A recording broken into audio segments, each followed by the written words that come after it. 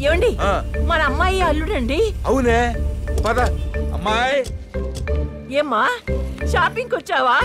బట్టలు కొనడానికా నగలు కొనడానికా? ఆ, నా మొహానికి షాపింగ్ కొన్నా. నాగల? ఇదిగో కూరగాయలు కొనడానికి వచ్చాను. ఆ. ఇదిగో పద్మజ మేడం. నగలు కొనడము చీరలు కొనడము పెద్ద షాపింగ్ అనుకుంటున్నావు. కూరగాయలు కొనడం కూడా పెద్ద షాపింగే ఆ. అల్లుడు నీలాంటోడు ఐదు రూపాయలు పెట్టి న్యూస్ పేపర్ కొని అది షాపింగే అంటాడు. అవును. ఇంకా మా అమ్మాయిని ఈ బోర్డు సైకిల్ మీదే తిప్పుతున్నావా? అవును సార్. ఏమయ్యా మా అమ్మాయికి ఒక కారు కొనివ్వు మా ఆయనతో చెప్పి ఫైనాన్స్ ఇప్పిస్తాను. చూడత్తమ్మా కార్లలో తిరిగినోడు బంగ్లాలో ఉండేవాడు చాలా గొప్పడు అనుకుంటే నా చేత తన్నులు తిన్న దొంగ మీద కూడా ఈవేళ కార్లలో విమానాల్లో జమ్మును తిరుగుతున్నాడు. ఆ బ్రతుకు నాకు తల్లి. నా బ్రతుకు నేను బతుకుతాను. ఇలా ఉండనివ్వండి. అత్తో అత్తమ్మో మామయ్యో మీరు కన్నా నాకు కారు ఫైనాన్స్ చేయించారనుకోండి వడ్డీ కూడా ఎట్లేను నెక్స్ట్ మీరే హామీ. డేంజర్. రా పద్మజ కమాన్ కమాన్ ఎక్కువ మీరు వెళ్ళండి అమ్మా.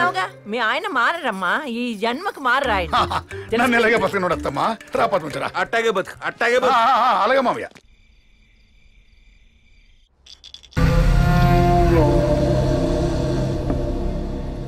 బస్సు మంద అయిపోయింది బస్సు అప్పుడే మందు అయిపోయిందా.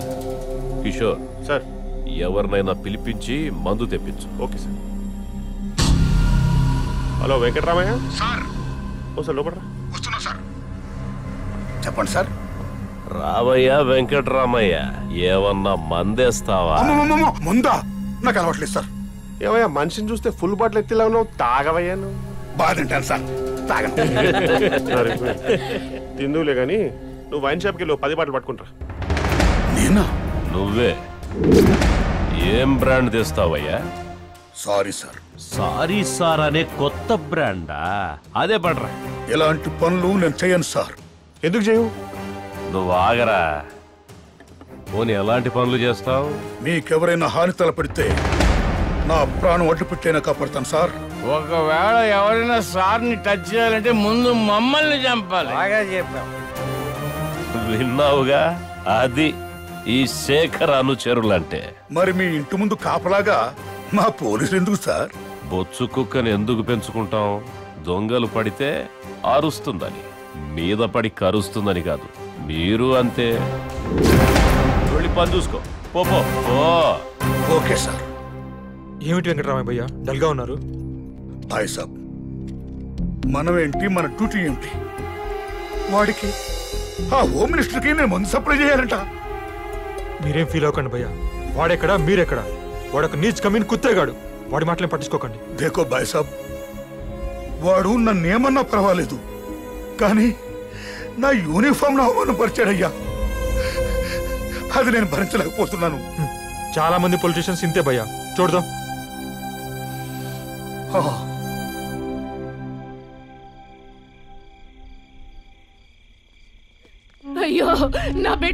బిడ్డకి ఎంత ఆపద వచ్చింది అయ్యా అయ్యా మంత్రి గారిని కలవాలయ్యా. బిడ్డ ప్యానాల ఈ టైంలో ఆయన కలవడం కుదరదమ్మా రేపు పొద్దున్న రండి. తలుపు తీయండి అయ్యా. అమ్మా అమ్మా. చెప్పేది మీకేనమ్మా? ఏడవకండి. ఏంటమ్మా? అయ్యా దేవుళ్ళగా ఉన్నారయ్యా నా బిడ్డకి గుండె ఆపరేషన్ చెయ్యాలన్నారు లక్షల్లో ఖర్చు అవుతుందంట నా దగ్గర అంత స్తోమత లేదయ్యా. మంత్రి గారు ఉత్తరం ఇస్తే ఆపరేషన్ ఫ్రీగా చేద్దామన్నారయ్యా. ఆయన ఒక్కసారి. Hello sir. ఎవరో పల్లెటూరు నుంచి మంత్రి గారిని కావడానికి వచ్చారండి. ఏంటట? హాస్పిటల్కి లెటర్ కావాలంటండి. రేపు రమ్మని చెప్పవా? అరే ఏంట్రా? ఎవరు లీటర్ కావాలో వచ్చారండి సార్. రేపు రమ్మని చెప్పాను. లెటరేగా రమ్మని రాసి ఇచ్చాను ప్రెస్కి చెప్తే నాకు పబ్లిసిటీ వస్తుంది. వెంటనే రమ్మని చెప్పు. పంపించు. ఎస్ సార్ ఆ తమ్ముడు తలుపుది? రండమ్మా రండమ్మా. రండి, లోపలికి వెళ్దాం మంత్రి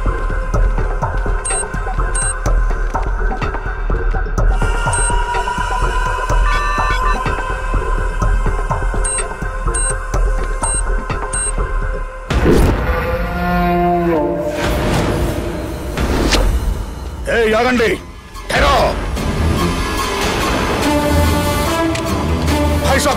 టేక్ పొజిషన్స్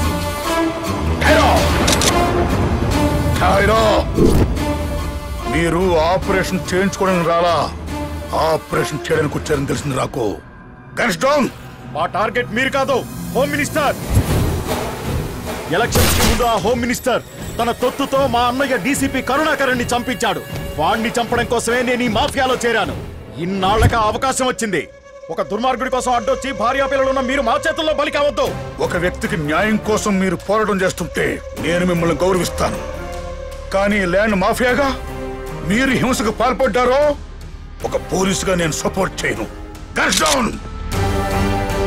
వాడు మనుషుల రక్తాన్ని తాగే రాక్షసుడు. వాడు హోమ్ మినిస్టర్ అయ్యాక మంచి వాళ్ళని చంపుతున్నాడు. అయితే సాక్ష్యాలు చూపించండి. చట్టపరంగా శిక్ష పడేలా మనం చేద్దాం. అది నీ వల్ల కాదు. నేనుండగా హోమ్ మినిస్టర్ని చంపడం మీ వల్ల కాదు.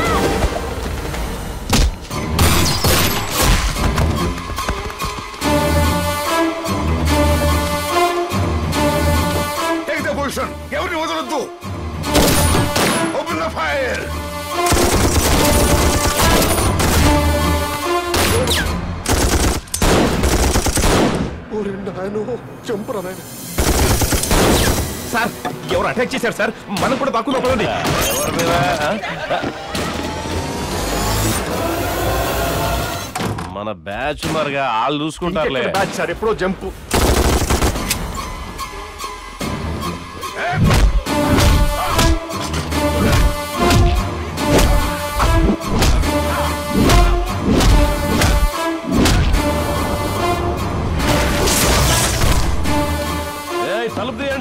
తలుపు తీస్తే మమ్మల్ని చంపేస్తారన్నా? నా ప్రాణానికి మీ ప్రాణం. అడ్డేస్తానన్నారుగా ఇప్పుడే. మందు తాగాక వంద అంటావు సార్ అవన్నీ నమ్ముతారా మీరు?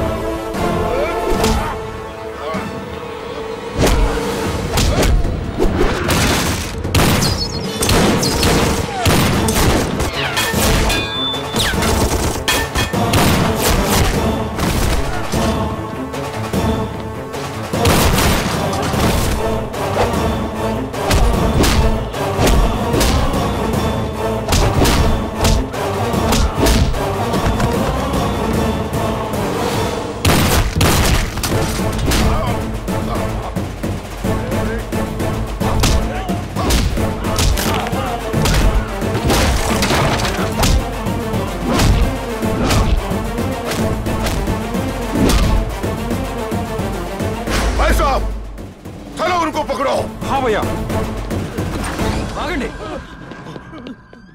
నీ ఒక్కడి కోసం ఎంతో మంది మంచి వాళ్ళని బలి తీసుకున్నావు కదరా పాపాత్ముడా ఎవడరా ఇప్పుడు నిన్ను కాపాడేది ఇదిగో వీళ్ళున్నారుగా ఏరు వీళ్ళు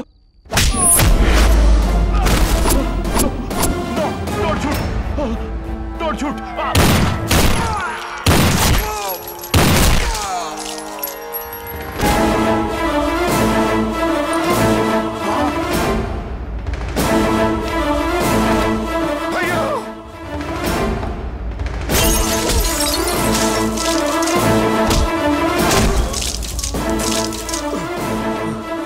भैया भैया मेरे दोस्त बलविंदर भैया मेरे प्यारे दोस्त आप नहीं मर जाते బాధపడకు నేను చనిపోతున్నందుకు నాకేం బాధ కాలేదు నువ్వు బాధపడకు नहीं नहीं भैया आप नहीं मर जाते आप नहीं मर जाते వెంకట్రామయ్య భయ్య బాధపడకు నీలాంటి గొప్ప వ్యక్తి చేతిలో చనిపోతున్నందుకు చాలా ఆనందంగా ఉంది जय हिंद जय हिंद भैया!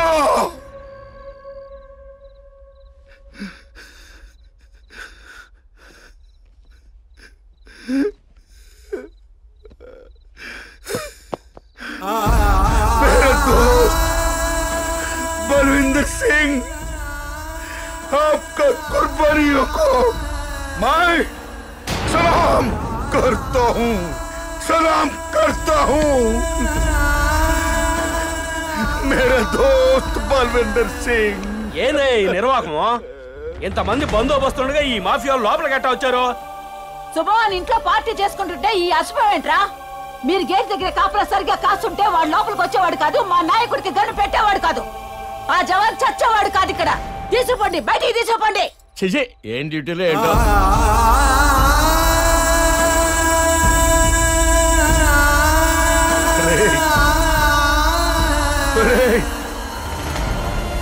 మీ హోమ్ మినిస్టర్ ప్రాణాలు కాపాడడం కోసం ఈ మహానుభావుడు తన ప్రాణాలను త్యాగం చేస్తే మేము మీకు న్యూసెన్సమా మీకోసం మా పోలీసులు అక్కడ సరిపోయారురా. మేమంతా దెబ్బలు తిన్నాంరా. అలాంటి మా డ్యూటీని మా త్యాగాన్ని మీరు గుర్తించకుండా మీరు న్యూసెన్స్ చేస్తున్నావుంటారా ఏదయ్యా మీరు మీ పోలీసు ఎదవ డ్యూటీలో? మీరే డ్యూటీలు సరిగ్గా చేస్తుంటే ఈ దేశం ఇట్లా తగలబడేది కాదు. మా నాయకుడికి ఏమైనా జరుగుంటే మేమేం కావాలి? ఎరా మీరు మనుషులా రాక్షసులా పశువులా? అసలు అన్నం తింటున్నారా మీరు? అసలు మీరు మనుషులేనా ఎరా మా పోలీసులు గేడిదారు సరిగ్గా డ్యూటీ చేయలేదా మీకు? రే ఎవరో వచ్చి మంత్రి గారిని కలవాలంటే ఆగండి అని మేము ఆపాం. మీ మంత్రి గారు తాగిన మత్తులో పంపమంటేనే పంపావురా. అప్పటికి మేము డ్యూటీ సరిగ్గా చేశాం కాబట్టి వాళ్ళ దగ్గర తుపాకులు నేను పసిగట్టి వాళ్ళతో యుద్ధం చేశాం. మీ నాయకుడు ప్రాణాలు కాపాడడం కోసం ఈ భాయ్ సాబు మా పోలీసులు ప్రాణాలు పోగొట్టుకున్నారా? రేయ్ డ్యూటీ చేసేది మేమురా నువ్వు కదరా? రేయ్ మా పోలీసులు లేకపోతే ఈ దేశంలో శాంతి భద్రతలు ఉంటాయిరా? మా పోలీసులు లేకపోతే మా గన్మెన్ లేకపోతే మీ నాయకులు గాని మీరు గాని ఉచ్చ ఉచ్చ కూడా పోయగలరా? రేయ్ భారతదేశం ఎక్స్టర్నల్ సౌరాంటి కాపాడటం కోసం జవాన్లు ఎంత కష్టపడుతున్నారో భారతదేశపు ఇంటర్నల్ సౌరాంటి కాపాడటం కోసం మా పోలీసులు కూడా అంతే కష్టపడుతున్నారా? That is police that is police